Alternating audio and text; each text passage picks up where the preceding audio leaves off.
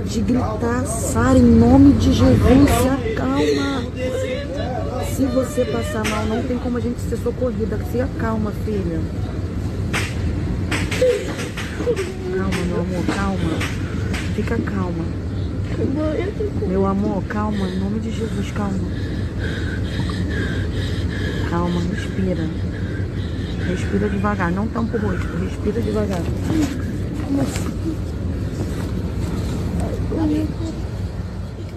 Pois é, minha gente, infelizmente o Rio de Janeiro vivendo mais um drama, né? Mais um dia no Rio de Janeiro. Ontem, quando eu vi aquela nota do governador do estado dizendo que o Rio de Janeiro não é lugar de baderna por conta dos torcedores do Penharol, eu pensei, puxa vida, o governador começou a nota aí já de forma equivocada, porque infelizmente, sim, o Rio de Janeiro se transformou em um local de baderna, se transformou em um local de anarquia. Essa menina deitada no chão ali, sendo acolhida pela mãe, que pedia a ela desesperadamente para não chorar, para ficar tranquila, mexeu demais comigo, sabe? Isso aí me deixou mais revoltado do que eu já sou quando falamos de violência.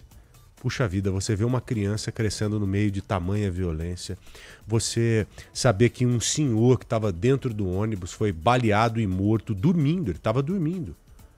Deve ter madrugado, acordado lá três, quatro horas da manhã com a marmitinha dentro de uma sacolinha para ir pro trampo, tá dormindo no busão para aproveitar aquele momento, leva um tiro e morre. Assim como o motorista de aplicativo na Avenida Brasil também, uma área, pô, é uma zona de guerra, né? A gente fala da incursão terrestre do exército israelense no Líbano, nós temos uma incursão terrestre permanente no Rio de Janeiro. Uma área que é dominada pela tristeza, dominada pelo terror. É todo dia cidadão de bem pobre chorando. Chorando porque ou perdeu um ente querido, chorando porque o filho não consegue ir para o colégio, chorando porque simplesmente não consegue entrar no ônibus para ir trabalhar e corre o risco de perder o emprego que ele demorou tanto para conquistar. Então é isso que o cidadão do Rio de Janeiro hoje, infelizmente, enfrenta. É uma guerra em cima da outra. São batalhas, né? Uma guerra feita de batalhas. Todos os dias há uma batalha no Rio de Janeiro. Todos os dias, Joel. Todos os e dias, hoje, né? essa batalha fez dois cidadãos que nada tinham a ver com isso é, vítimas e esse número pode subir. Porque a gente está dando muita ênfase aos dois mortos, mas é importante a gente falar que tem mais quatro pessoas que foram feridas, né? E uma, uma ação que teve um resultado prático pífio, irrelevante. A, ela foi abortada. De, em, tanto que foi abortada porque os caras reagiram com uma força surreal. E, mas a polícia do Rio disse que não teve erro na operação, né? Que fazer a operação naquele horário, o horário de pico, com a Avenida Brasil bombando, cheia de gente, não foi errado. Imagina. Marcos Sadoc, que está acompanhando isso desde bem cedinho, está acompanhando aí os desdobramentos também. Ele vem já já com as informações aqui pra gente Sadoc, a respeito que disso. ontem, nesse mesmo horário, Aninha, Tava com a gente aqui, ó, fez duas participações, né? Falando daquele quebra-pau lá no Pontal. Leme Isso. ao Pontal. Isso. Lá no Pontal. Logo depois, poucas horas depois, lá no Brasil Gente, olha só, conversei com o Sadoc no Palácio da Polícia e com o Adson Ramos, outro competente profissional que nós temos lá no Rio, em uma outra localidade. Os dois ontem empenhados em reportar pra gente violência. E hoje, infelizmente, não temos nada de diferente. Hoje dá para. Oi, Joel. Oi, Aninha. Boa tarde a vocês, todo mundo que está acompanhando a Rádio Bandeirantes. Mas, Joel, você sabe que mesmo quem cobre segurança pública todos os dias aqui nessa guerra urbana, como eu estava te falando mais cedo, tem alguns momentos que a gente se choca. E esse vídeo que você acabou de soltar, quem está na rádio está ouvindo, é realmente muito angustiante ver a mãe com uma filha no meio do fogo cruzado, esses tiros de fuzil. Vamos lá, já tem muita repercussão aqui no Rio de Janeiro, que é o segundo dia que a segurança pública acorda e precisa dar respostas à população e admitir erros. Ontem, o erro do Penharol, o erro da torcida do Penharol, o secretário, inclusive, assumiu esse erro, já eu disse que o Estado tem que pagar sobre aquelas vítimas, a pergunta que você me fez ontem. E hoje, mais uma vez, acabando a operação, a foi expulsa do complexo de a polícia disse que não, não esperava a reação tão forte. Bom, Joel, a gente mostrou que lá dentro tem mansões do tráfico, está sendo procurado há mais de um ano. Ele destrói religiões e pontos de religião às quais ele não concorda, lento. O complexo de Israel é conhecido por aqueles, aquela imagem da bomba que a gente mostra muito no Brasil, gente, é naquela região é desse grupo armado jogando bomba através de drones. Então, a polícia disse isso e imediatamente a Assembleia Legislativa já começa a falar em conversas com o governo federal. Já da Assembleia Legislativa do Rio teve um ponto diferente politicamente do governo federal, eles estão dizendo hoje que isso não importa, que já é preciso chamar o governo federal diante de tudo isso que aconteceu. Os quatro feridos, Joel e Aninha, a gente está de olho em três, porque um é suspeito, então a gente está preocupado com três que seguem internados em unidades do Rio de Janeiro, ainda tentando voltar à normalidade depois dessa manhã caótica. Sadoquinho, me repita, por favor, as vítimas todas. Um é um senhor que estava dentro do ônibus, dormindo, baleado e morto. O outro morto é um motorista de aplicativo. E os quatro baleados? Um é suspeito, então estava trocando tiros com a polícia. Certo. Outros três passavam pela Avenida Brasil também. Olha. Então a gente ainda está confirmando exatamente o ponto exato de cada um, mas todos estavam ali naquela situação de frente ao complexo de Israel. E estavam também, Joel, alguns no meio da pista, aquelas imagens que vocês devem ter visto Oh. no meio das muretas. Possivelmente cinco vítimas, então, no total. Três feridas e duas mortas. É isso. É, E- é- é brincadeira, né? E só reforçando que, novamente, não tinha nada a ver, essas pessoas estavam passando por ali. E a gente vê muitas vezes, Ossadó, que esses tiroteios acontecerem é, em outros horários, né? E a polícia também é, pondera. E Essa semana foi você mesmo que entrou no ar aqui com a gente dizendo que uma, uma operação tinha sido abortada porque é, eles tinham ali a informação de que poderia haver uma reação muito grande e não valeria a pena o risco. E hoje não tinha a mesma condição, porque assim, tudo bem, reagiram além do que a, a, a polícia esperava, mas assim, isso não tem que ser colocado na, na conta. Ó, se eles reagirem além do que a gente está tá capacitado aqui para suportar, a população está no meio, a Avenida Brasil está no horário de pico, o pessoal está indo trabalhar. Porque isso não foi levado em Não consideração. tem nada né? mais vexatório que mostra a falência mesmo do que você ir como aparato policial para uma operação e abortar a operação porque a reação foi muito grande. Isso é vexatório. Também acho. Isso é a falência. Você, como polícia, avança e os criminosos atiram em você e você recua.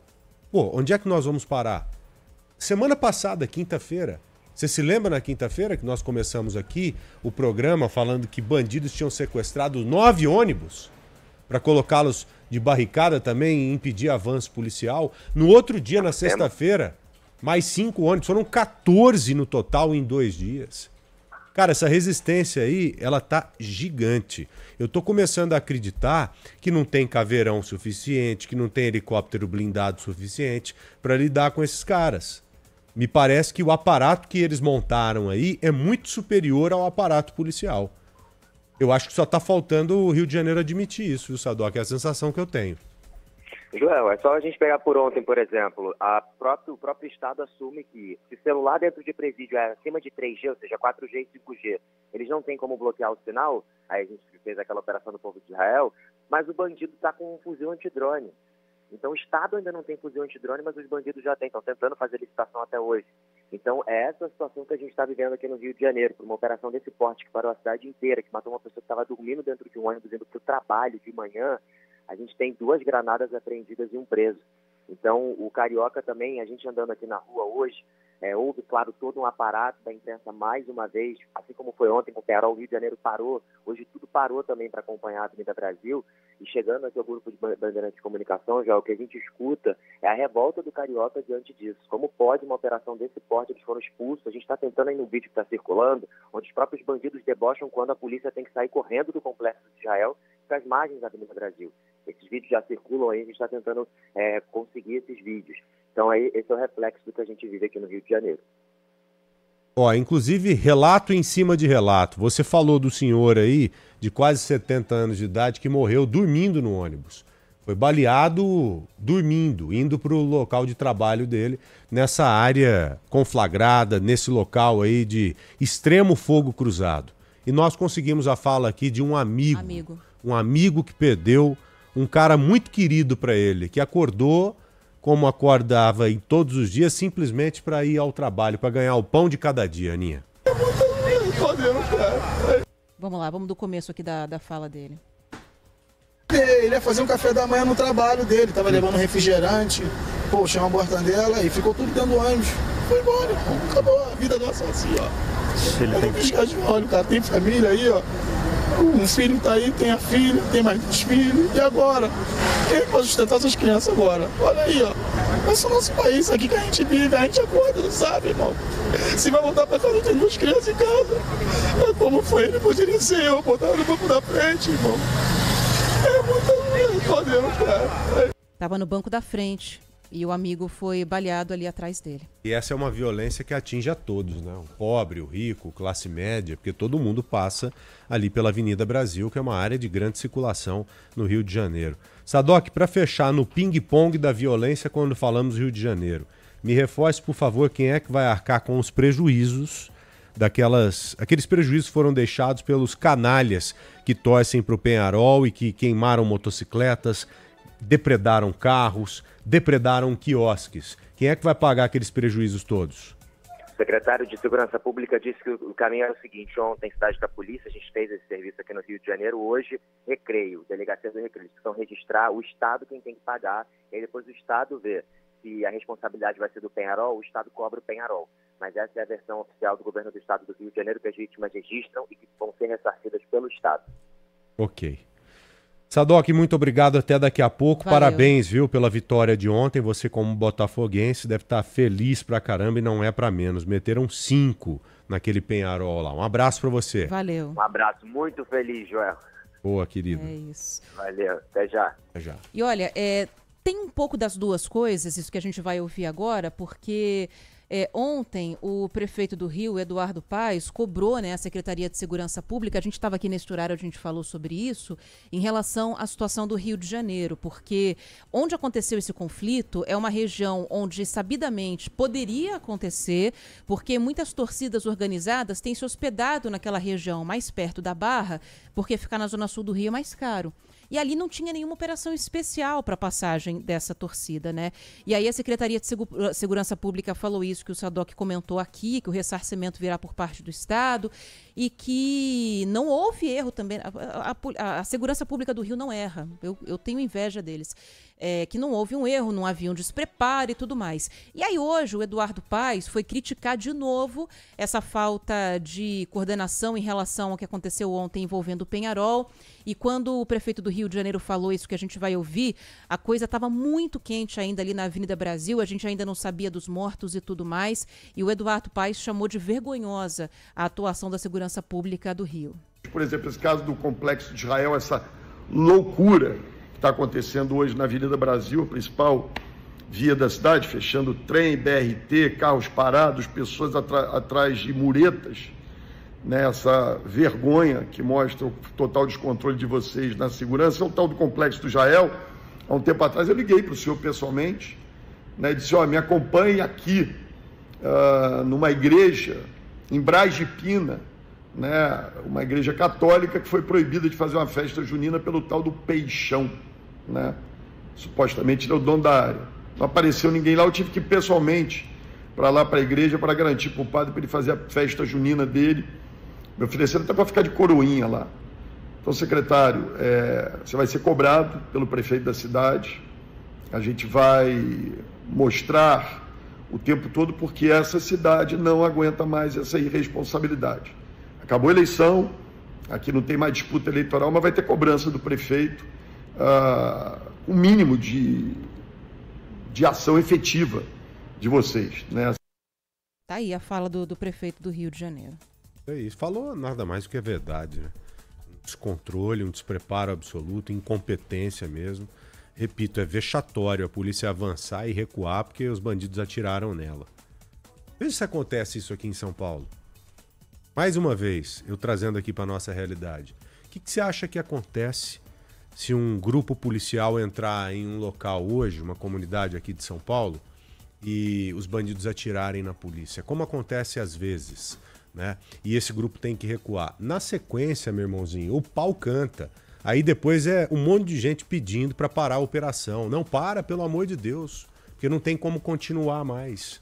Não tem como continuar, é rota para todo lado, é tropa de choque para todo lado. E nós não podemos perder a mão aqui em São Paulo, hein? Não podemos deixar chegar a esse nível que chegou, infelizmente, o Rio de Janeiro. E você só impede um crescimento do crime, assim como o Rio de Janeiro cresceu, com força. com sangue nos olhos mesmo, com vontade policial. Ontem, nesse mesmo horário, a gente estava aqui e estava rolando aquela confusão toda lá no Rio de Janeiro com os torcedores do Penharol. Governador do Rio veio às redes sociais, né, com palavras bonitas, de efeito. Rio é lugar de baderna. Determinei que a polícia escolte esses torcedores para fora do Rio, etc e tal. Tô esperando ele falar alguma coisa sobre a ação da polícia dele, que terminou com duas pessoas mortas hoje na Avenida Brasil. Isso aí.